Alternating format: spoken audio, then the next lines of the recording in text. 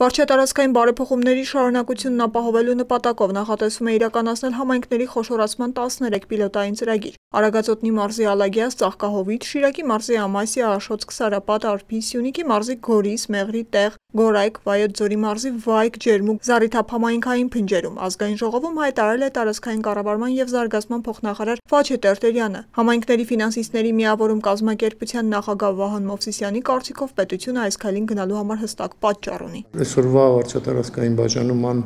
փոփոխությունը, օպտիմալացումը կամ բարեփոխումը պայմանավորված է նախորդ վարչատարածքային սխալ բաժանման արդյունքով, որտեղ չեն կարող լինել փոքր, շատ փոքր համայնքներ, որտեղ բնակչության թվականակը այնքան քիչ է, որտեղ ծառայությունների մատուցման անհնարինություն է ստացվում, սա է ամբողջ իմաստը, որովհետև տեղական ինքնակառավարման մարմինները դրանք իշխանություն են,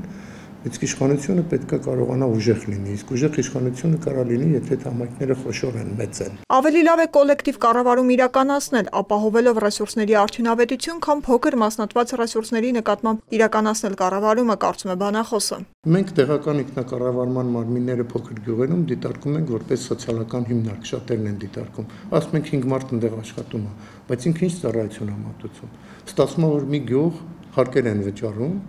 հարկերը հավաքվում բյուջեին, որը բավարարում է 4 հոգու աշխատավարձը վճարելու համար։ Եթե դա տեղական ինքնակառավարում է, ապա կներեք ոչ, որտեղ տեղական ինքնակառավարումը կոչված է ծառայություն մատուցելու։ Իսկ միգուցե այդ 4 մարդու ընտանիքները պահելու կարևոր կարևորությունը, որը շատ կարևոր է, դիտարկենք այդ տեսանկյունից։ Միգուցե ավելի լավ կլինի ոչ մի հարց չտանք բոլորիս ընտանիքները պահեն։ Հանրային խորհրդի տարածքային եւ տեղական ինքնակառավարման հարցերի հանձնաժողովի նախագահ Կորյուն Արաքելյանի կարծիքով շատերի մոտ խոշորացում բառը ասոցացվում է համակենտրոնացման հետ։ Սխալ ընկալում կա, որը ժամանակի ընթացքում պետք է հարթվի։ Այնտեղ որտեղ մի շենք է քանդում,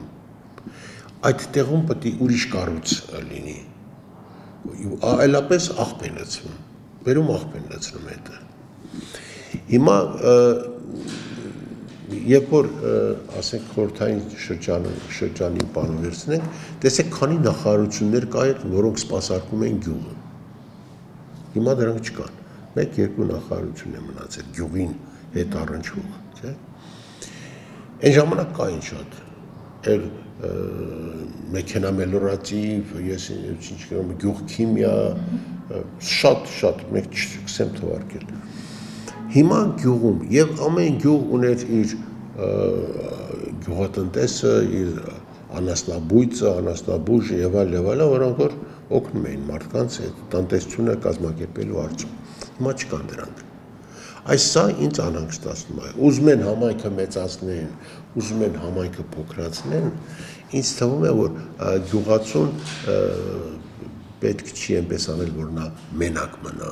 հողի հետ Եվ նա շատ դեպքում այդ գյուղացին չի կարող գյուղատեսությունը այդպես լավ պատկերացնել, նրան օգնել է պետք։ Նրան օգնել է պետք ոնց հողը մշակել, ոնց հողը պարարտացնել։ Վերջապես գյուղատնտեսությունը դա գիտություն է, դա այնպես օթում կախված բան չի։